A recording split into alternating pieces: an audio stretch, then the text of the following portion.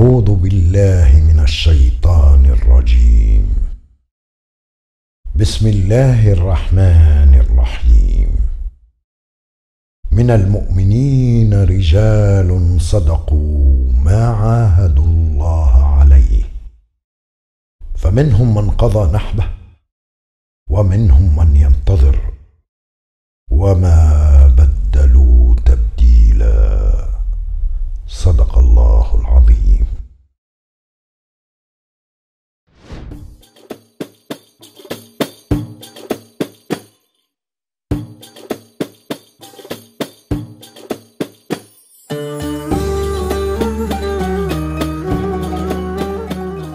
رجال حول الرسول صلى الله عليه وسلم.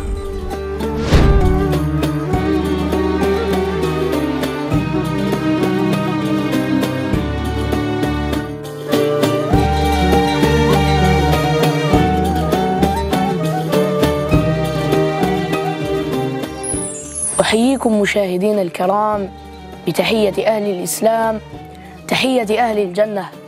فأقول لكم السلام عليكم ورحمة الله وبركاته. في عدد جديد من برنامج رجال حول الرسول معكم دائما أنا عبد الله ورفقة الصبيان ساجد عبد الوكيل عبد الرحمن وكذلك ياسر. حمدا لمن بيده زمام الأمور يصرفها على النحو الذي يريده. فهو الفعال لما يريد. إذا قضى أمرا فإنما يقول له كن فيكون. سبحانه قد برئ كلامه من لفظ وحرف وتقدست أسماؤه وجلت صفاته وكانت أفعاله عيون الحكمة. وصلاة وسلاما على النبي العربي الأمي أفصح من نطق بالضاد محمد وآله وصحبه ومن اقتدى بهداهم. واتبع هديهم. أما بعد عندما بعثه أمير المؤمنين عمر بن الخطاب إلى البصرة ليكون أميرها وواليها جمع أهلها وقام فيهم خطيبا فقال إن أمير المؤمنين عمر بن الخطاب قد بعثني إليكم وأعلمكم كتاب ربكم وسنة نبيكم وأنظف لكم طرقاتكم. وغشي الناس من العجب والدهشة ما غشيهم. فإنهم لا يفهمون كيف أن من واجبات الأمير أو الوالي تثقيف الناس وتفقيههم في دينهم. أما أن يكون من واجباته تنظيف طرقاتهم فذاك شيء جديد عليهم بل شيء مثير وعجيب. فمن هذا الوالي الذي قال عنه الحسن رضي الله عنه؟ ما أتى البصرة راكب خير لأهلها منه.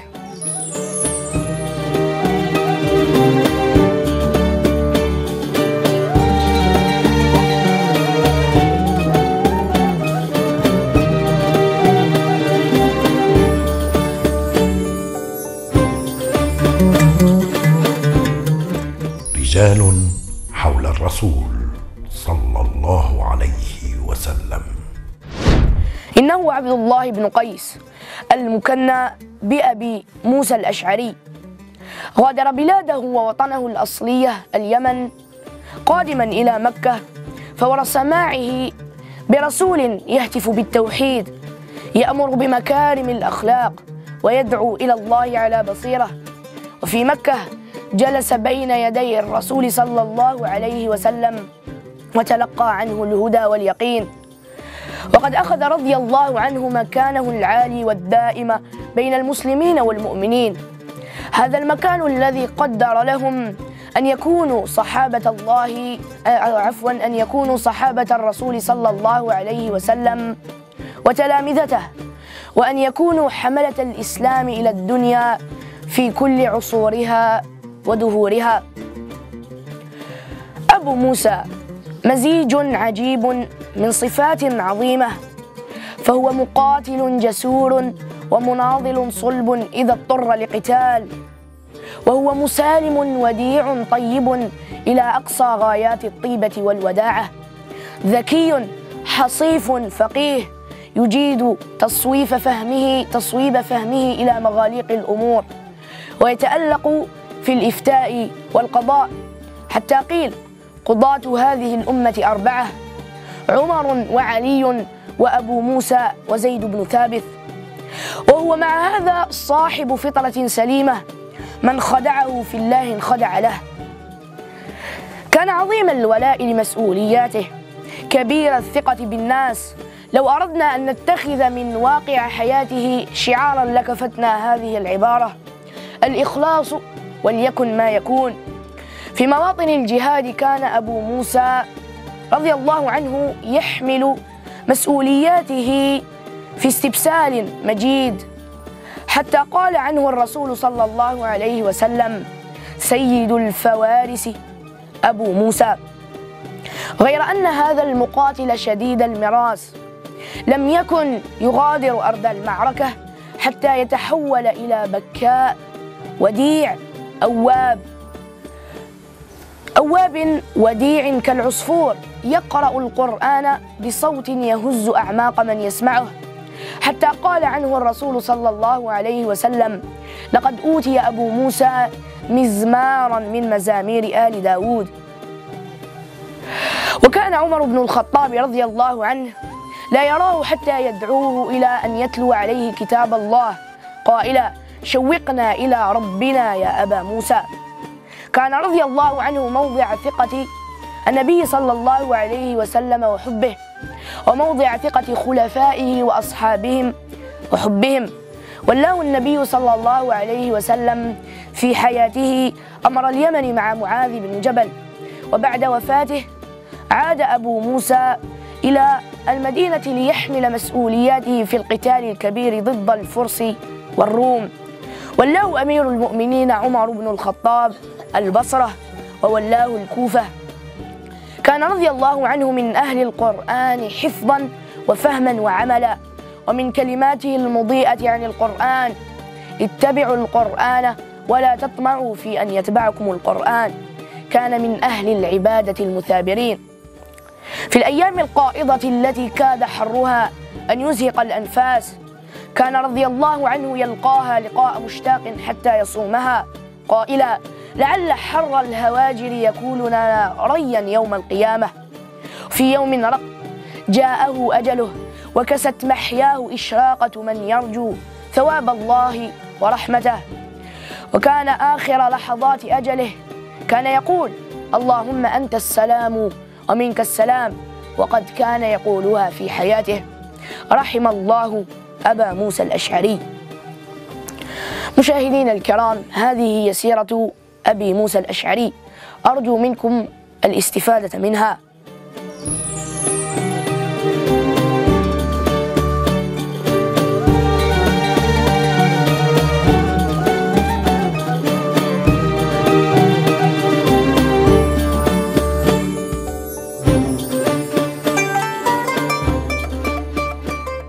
رجال حول الرسول صلى الله عليه وسلم.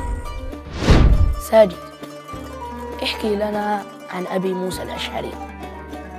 كان صحابي الجليل أبي موسى الأشعري فقيها وحصيفا وذكيا يجيد تصويب فهمه إلى مغاليق الأمور ويتألق في الإفتاء والقضاء حتى قيل قضاة هذه الأمة أربعة عمر وعلي وأبو موسى وزيد بن ثابت رضي الله عنهم. عبد الوكيل ما هي صفات الصحابي الجليل أبو موسى الأشعري؟ الصحابي الجليل أبو موسى الأشعري. مزيج عجيب من صفات عظيمة. فهو مقاتل جسور ومناضل صلب إذا اضطر للقتال. وهو مسالم وطيب وديع إلى أقصى غايات الطيبة والوداع عبد الرحمن كيف كانت ردة فعل الصحابي الجليل أبي موسى الأشعري بعد سماعه بالرسول صلى الله عليه وسلم؟ غادر أبو موسى الأشعري بلده ووطنه الأصلية متجها إلى مكة فور سماعه بالرسول صلى الله عليه وسلم الذي يهتف بالتوحيد. ويدعو إلى الله على بصيرة ويأمر بمكارم الأخلاق. ياسر هذا الصحابي الجليل لم يكن يغادر أرض المعركة حتى يتحول إلى مال لم يكن الصحابي الجليل أبو موسى الأشعري يغادر أرض المعركة حتى يتحول إلى أواب. بكاء وديع كالعصفور يقرأ القرآن بصوت يهز أعماق من يسمعه حتى قال عنه النبي صلى الله عليه وسلم لقد أوتي أبو موسى مزمارا من مزامير آل داود. أصبت وأصبتم جميعا. شكرا لكم. اللهم إنا عبيدك بنو عبيدك بنو إمائك نواصينا بيدك ماض فينا حكمك عدل فينا قضاؤك. نسألك بكل اسم هو لك سميت به نفسك أو أنزلته في كتابك أو علمته أحدا من خلقك أو استأثرت به في علم الغيب عندك. أن تجعل القرآن العظيم ربيع قلوبنا ونور أبصارنا وجلاء لهمومنا وغمومنا. وسائقنا وقائدنا إليك وإلى جناتك جنات النعيم ودارك دار السلام. مع الذين أنعمت عليهم من النبيين والصديقين والشهداء والصالحين. وحسن أولئك رفيقا. اللهم لا تجعل لنا ذنبا إلا غفرته ولا عيبا إلا سترته ولا ميتا إلا رحمته ولا دينا إلا قضيته. ولا عدوا إلا كفيته ولا عيبا إلا سترته ولا غائبا إلا رددته ولا عاصيا إلا عصمته ولا فاسدا إلا أصلحته ولا حاجة من حوائج الدنيا لك فيها رضا عنا ولنا فيها صلاح إلا أعنتنا على قضائها في يسر منك وعاقبة. اللهم اجعلنا نتبع الصحابة ونحذو حذوهم ونتخلق بأخلاقهم ونسأل الله أن يجمعنا معهم ومع النبي صلى الله عليه وسلم في جنته. آمين. مشاهدينا الكرام بهذا نكون وإياكم قد وصلنا إلى نهاية عدد اليوم. لنضرب لكم موعدا غدا بحول الله ونحن في شهر رمضان. نسأل اللهم تعالى أن يتقبل منا صيامنا وقيامنا. صح فطوركم والسلام عليكم. الله الله